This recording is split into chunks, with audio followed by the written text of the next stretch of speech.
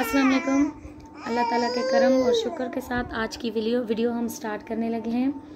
आज की वीडियो आप सब दोस्तों की फरमाइश पर बना रही हूँ, जो कि लास्ट स्वेडल की वीडियो देखने के बाद आप सब लोगों ने पूछा है कि अगर हम इसे खुद अप्लाई करना चाहें तो कैसे कर सकते हैं? तो आज मैं आपको स्वेडल करने का अपने तरीके से बता रही हूँ कि हम कैसे इसको स्वेडल करते हैं बच्चों को। तो उसके लिए हमें चाहिए क्या, वो मैं आपको बताने जा रही हूँ। उसके लिए हमें ये पहले रस्सियाँ टाइप चाहिए, ये हमने ऊन से बनाई थी।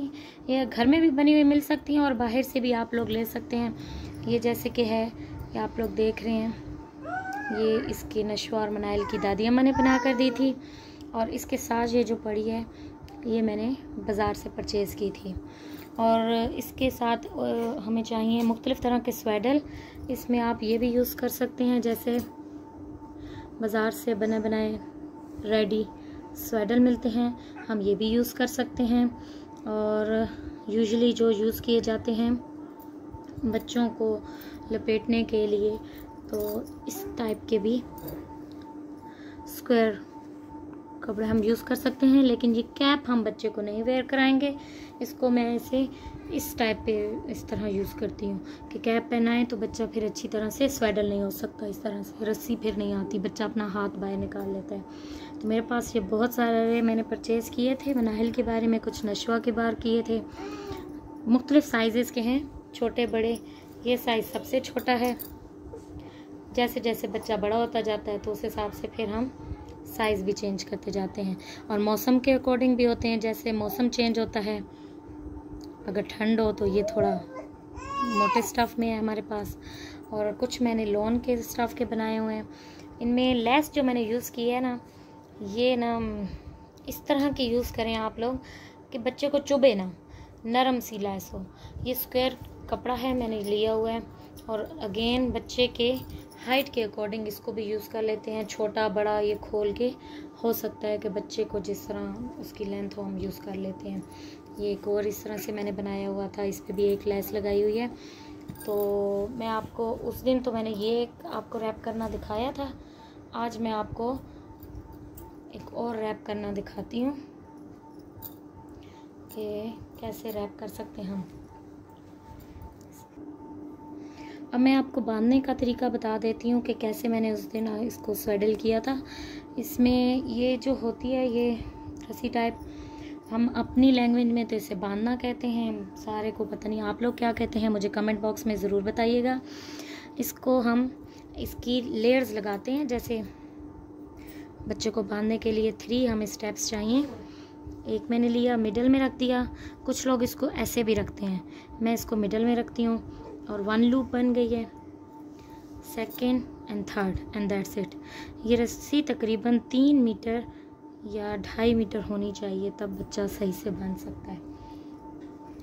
इस तरह इसको रखने के बाद इस पर मैं ये कपड़ा इस तरह रखूँगी कि यहाँ पे बच्चे का सर आएगा। और ये कैप वाली साइड ऊपर नहीं करनी, उससे बच्चा ज़रा सही से सडन हो अब आ गई हैं ये नशवा। देखें आज ये बांधने देती हैं कि नहीं। ये माशाल्लाह से सिक्स मंथ प्लस हो गई हैं।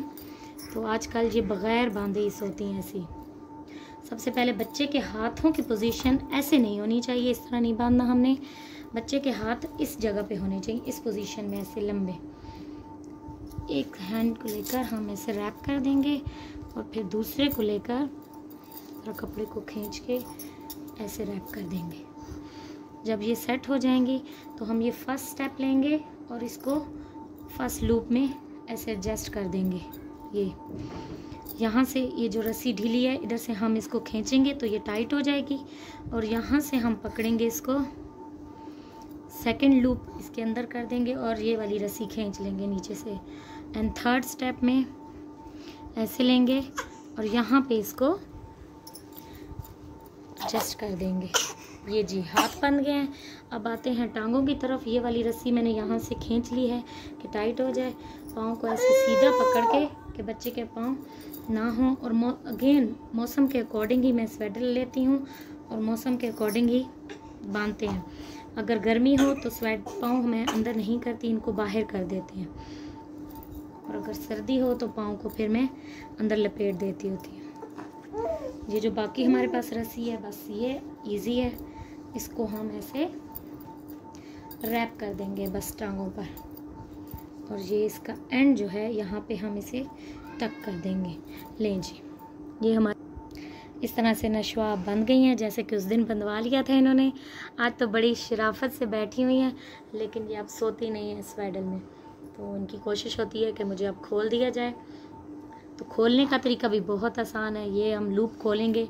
ऐसे ऐसे, और ऐसे, ये इजीली खुल जाता है। यहाँ से भी हम ये खोल लेंगे और नशवा मैडम अब हैप्पी हो जाती हैं, जैसे ही खुलता है तो।